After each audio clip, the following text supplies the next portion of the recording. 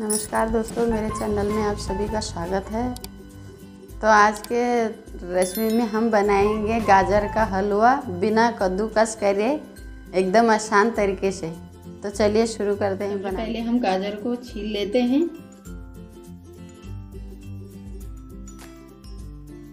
तो इधर हमने दूध गर्म करने रख दिया है। तब तक हमारा दूध भी उबल जाएगा। तो इतने गाजर हमने छील दिए हैं। दो चार और रह गए इनको भी छील लेते हैं। गाजर हमारे सारे छील चुके हैं। गाजर को छील के ऐसे ही पानी में रखा है। तो आज मैं आपको गाजर का हलवा बनाना आसान तरीके से बताऊँगी। बिना कद्दूकस करिए। इसको हमने धो के रख दिया है। तो सबसे पहले हम जो बड़े बड़े पीस हैं इसके दो हिस्से में बांटेंगे। इस तरीके से। इस तरीके से वो करेंगे। ज़्यादा छोटा नहीं करना है, इस तरीके से बनाना है। तो चलिए सारे गाजर को हम काट लेते हैं पहले। तो सारे गाजर को हमने काट के दो पीस में वो कर दिया है। डेढ़ किलो गाजर है हमारा। तो हम सबसे पहले कुकर रखते हैं, गैस जलाते हैं। तो कुकर को हम साफ़ कर लेते हैं। तो कुकर हमारा गर्म हो रहा है। इधर हम दो चम्मच घी डाल देते हैं। गाजर को हम कुकर में डाल देते हैं। और थोड़ा सा हम आधी चम्मच इसमें नमक डालेंगे। हलवा में फ्लेवर अच्छा आएगा। तो दो तीन मिनट हम इसको मिला लेंगे अच्छे से।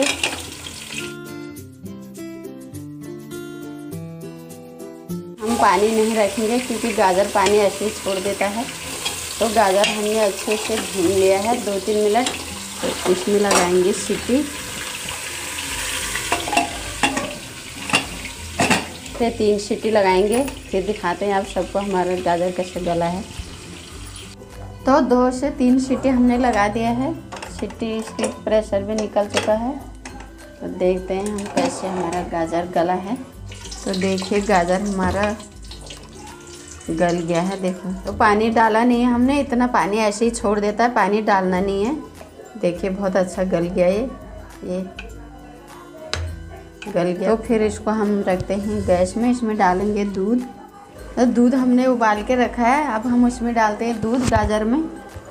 जितना हमें ज़रूरत है कि उतना ही डालेंगे।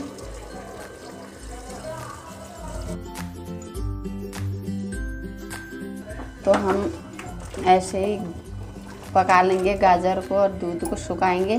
तो दोस्तों, देख रही हूँ कितना हमारा अभी सूख गया है दूध। थोड़ा बहुत और रह गया। है गाजर हमारा अच्छे से गल गया है, देखिए।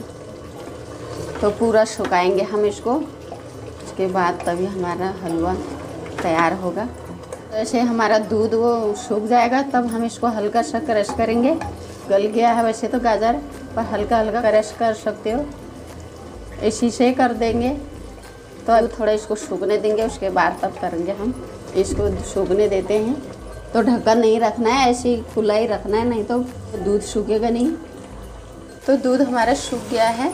देखिए, बहुत अच्छा से गाजर भी गल गया है। अच्छे से क्रश कर लेते हैं। गाजर को ऐसे ही ये क्रश हो गया, थोड़ा बहुत और करेंगे। ऐसे ही इसी तरीके से करना है हल्का हल्का ज़्यादा नहीं। ये देखिए, बहुत अच्छा हो गया। ज़्यादा वो ज़रूरत नहीं पड़ रही है क्रश करने का, क्योंकि ये ऐसे ही गल के वो हो गया बिल्कुल। ये देखिए। और दूध भी बिल्कुल सूख गया, एकदम सूख गया। तो अभी थोड़ा सा और सूखने देते हैं, हल्का हल्का और लग रहा है, क्योंकि चीनी भी डालेंगे तो वो भी पानी छोड़ेगा। तो थोड़ा इसको और सूखने देते हैं, फिर दिखाते हैं आपको हमारा हलवा कैसे बना है। तो इस तरीके से एक बार ज़रूर बना के देखें। कोई ज़्यादा मेहनत नहीं है। फटाफट दो सीटी लगाए, बस हो गया। ज़्यादा टाइम नहीं लगा, देखिए। कोई मेहनत भी नहीं लगी ज़्यादा। तो हलवा बन के हमारा तैयार हो गया है। बिल्कुल एकदम सूखा बन गया है। थोड़ा हम ऊपर से डालेंगे खोया। क्रश करके डालेंगे खोया। तो खोया को हमने अच्छे से मिला दिया है। देखिए, बहुत अच्छा हलवा बन के तैयार हो गया है। ऊपर से हम डालते हैं थोड़ा सा काजू। तो काजू हमने छोटे छोटे टुकड़ों में वो कर दिया है। तो काजू को भी हम मिक्स कर देंगे अच्छे से। तो थोड़ा सा हम डालेंगे चीनी, ज़्यादा नहीं डालेंगे, क्योंकि गाजर पहले से ही मीठा रहता है तो हम वैसे भी कम मीठ, मीठा खाते हैं। तो थोड़ा सा डालेंगे छोटी कटोरी से भी आधी कटोरी। बस इतना ही डालेंगे। चीनी को भी हम अच्छे से पका लेंगे। तो देखिए, बहुत अच्छा हमारा हलवा बन के तैयार हो गया है। कोई कोई नहीं कहेगा कि एक कद्दूकस करा नहीं ऐसे बनाया है करके, सेम वैसे हो गया। जैसे हमको चाहिए था, वैसे ही बन गया एकदम। तो थोड़ा हम और पका लेंगे इसको, चीनी को। क्योंकि चीनी थोड़ा बहुत पानी छोड़ेगा तो उसको भी सुखा लेंगे अच्छा से। तो हलवा हमारे बन के तैयार हो गया है। गैस को करते हैं बंद। तो देखिए, हलवा बन के हमारा एकदम तैयार है। और ऊपर से हम करते हैं गार्निश काजू का।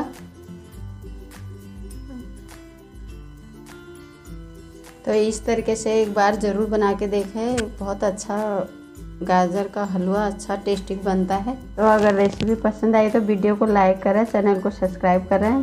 तब तक के लिए धन्यवाद मिलते हैं अगले नए रेसिपी में।